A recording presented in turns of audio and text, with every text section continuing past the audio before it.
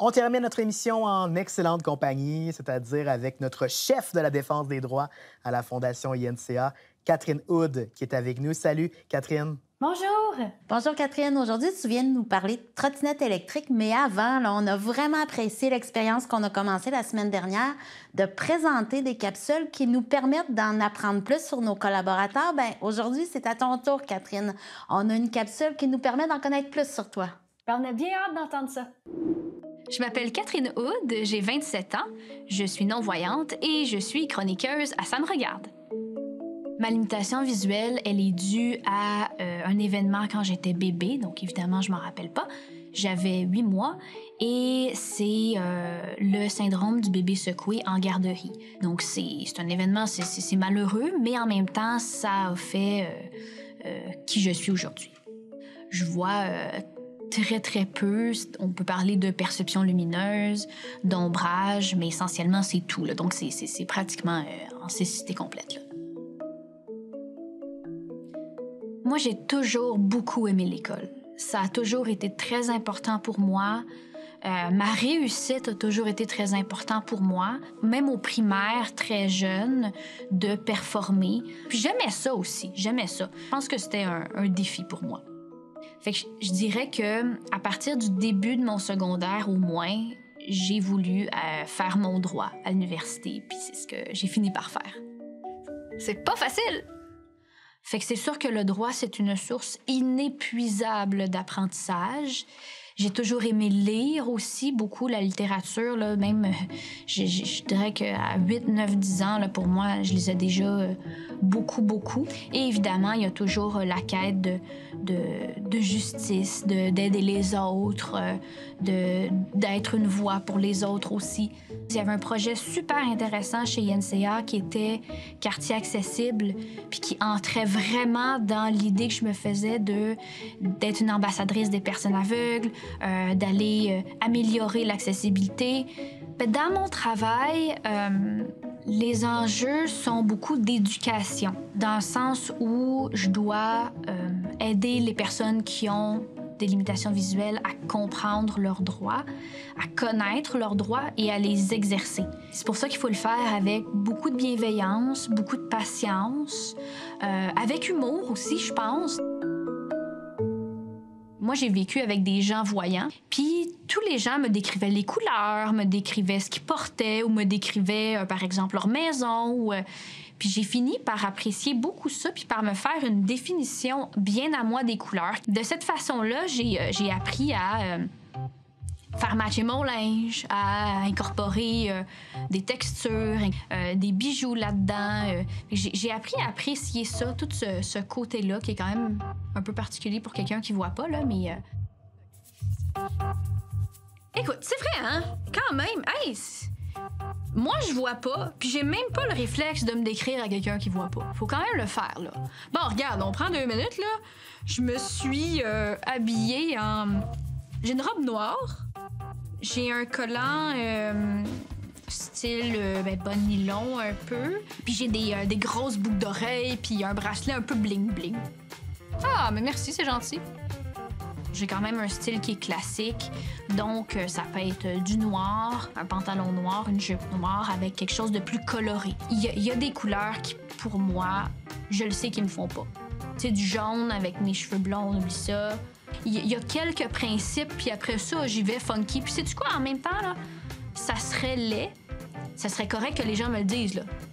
Mais j'en aurais rien à cirer. Ça serait bien correct. Si à moi, ça me plaît, c'est tout ce qui compte. J'ai trouvé ça bien intéressant, Catherine, puis je vais t'avouer que je t'ai écouté attentivement, puis je vois ma fille en toi dans une vingtaine d'années. Vous avez un peu la, ah. la, même attitude, puis la même relation avec toutes les l'apparence ou les couleurs de votre environnement. Ben, c'est vraiment une belle capsule. Hein? Merci à vous. Ah, ben merci à toi de t'être ouverte comme ça, Catherine. Et ça nous fait plaisir de faire découvrir à nos téléspectateurs, nos collaborateurs sous un autre jour comme ça. Maintenant, on passe aux choses sérieuses, si tu veux bien. On est ici quand même pour parler d'un sujet euh, qui peut paraître léger en apparence, mais qui peut poser bien des mots de tête. Les fameuses trottinettes électriques. Rappelle-nous, c'est quoi les trottinettes électriques? Parce que si on est en région, peut-être qu'on ne sait pas nécessairement à quoi on fait référence. En fait, on parle plus spécifiquement des trottinettes électriques en libre service. Donc, on, peut, euh, avec une application, trouver une trottinette à un point particulier, on l'utilise comme on veut, et puis quand on en a terminé, on, la laisse à un endroit. L'idée en soi est une belle idée de transport collectif, euh, environnemental, tout ça.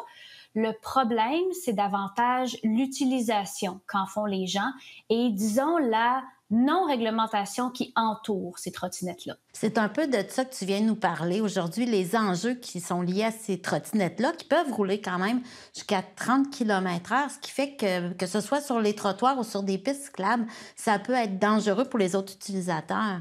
Mais effectivement, ça roule vite et ça ne fait pas de bruit ou très peu. Là. Donc, évidemment, là, comme un véhicule électrique, par exemple, on, on, connaît ça davantage. Là.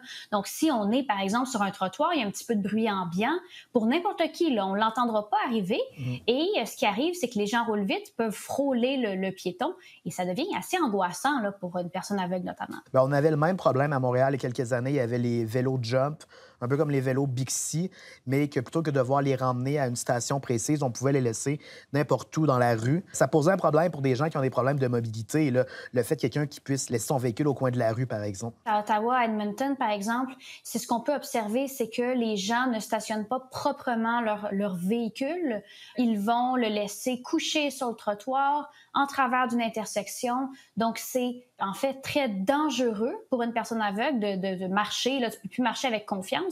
Et pour une personne qui aura des problèmes moteurs, par exemple, si c'est laissé en travers de l'intersection, ben, ça devient un sérieux obstacle. Qu'est-ce qui serait essentiel de mettre en place pour éviter ce genre de situations-là qui peuvent être problématiques? Bien, si il y a des changements et qu'on veut les mettre en place, c'est vraiment important qu'il y ait de la réglementation autour du stationnement, qu'il y ait vraiment des aires de stationnement pour ces véhicules-là, autour euh, de l'utilisation. Donc, justement, qu'on les utilise peut-être pas sur euh, les trottoirs, mais davantage, par exemple, sur les, les, pistes cyclables. Et évidemment, autour des processus de plainte, parce que ce qui arrivait, c'est que, par exemple, une personne qui a une limitation voulait faire une plainte, mais on lui disait, oui, mais vous devez appeler la compagnie. Mais la compagnie, en fait, ils n'étaient pas capables de savoir laquelle était-elle parce que pas, pas écrit de manière tactile. Mm-hmm. Donc, c'est vraiment important de, vérifier l'accessibilité tout autour de ce processus-là. C'est quoi le rôle euh, de la Fondation Parce que moi, je me rappelle quand l'administration euh, de Valérie Plante a décidé de ne pas renouveler son projet pilote, par exemple, avec euh,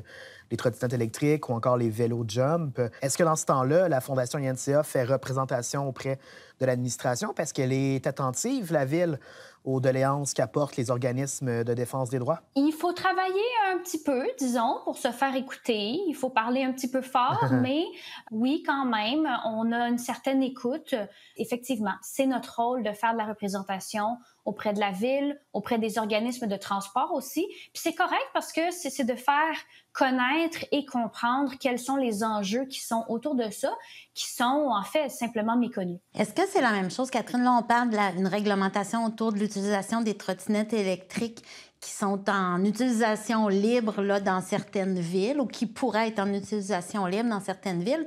Mais on sait qu'il se vend aussi des trottinettes électriques, là, comme on pouvait euh, avoir quand on était enfant, des petites trottinettes à roues qui n'étaient pas électriques à l'époque, en tout cas pas au mien, qui se vendent et qui sont électriques et qu'on voit quand même, en tout cas du moins au Québec, qu'on voit régulièrement autant sur les trottoirs que sur les pistes cyclables et qui me semblent aussi dangereuses. Est-ce qu'on devrait appliquer ces mêmes règles-là pour éviter des une utilisation euh, qui n'est pas nécessaire ou qui n'est pas facilitante pour certains usagers de la route? Ben, peut-être qu'il faudrait euh, les adapter d'une certaine façon, mais oui, je pense que ce serait euh, une très bonne idée. En tout cas, j'invite les gens qui utilisent ce type de véhicule-là à quand même être attentifs et à faire attention, à être très vigilant. Je pense que pour l'instant, c'est ce qui est bien important. Bien sûr, on n'a pas exactement pour l'instant les mêmes enjeux de, de stationnement, Dieu merci, mm-hmm. mais euh, effectivement, je pense que c'est très pertinent. Ouais, c'est sûr qu'on ne peut pas contrôler ce que les euh, personnes, les consommateurs vont acheter. On ne peut pas non plus contrôler ce que les fabricants décident de produire comme produit, mais ça revient un peu à la même question que,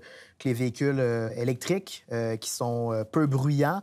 Donc, on peut tout à fait euh, changer la réglementation pour ajouter un bip sonore sur ceux-là. Ben, on pourrait faire la même chose pour les trottinettes électriques. Dans le fond, c'est la même, c'est la même chose.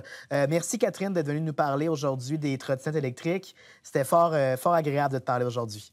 Merci à vous. C'est toujours un plaisir. Continuez à nous suivre sur Facebook, YouTube et Instagram. Pour du contenu original et l'horaire complet de nos émissions, visitez le amitélé.ca.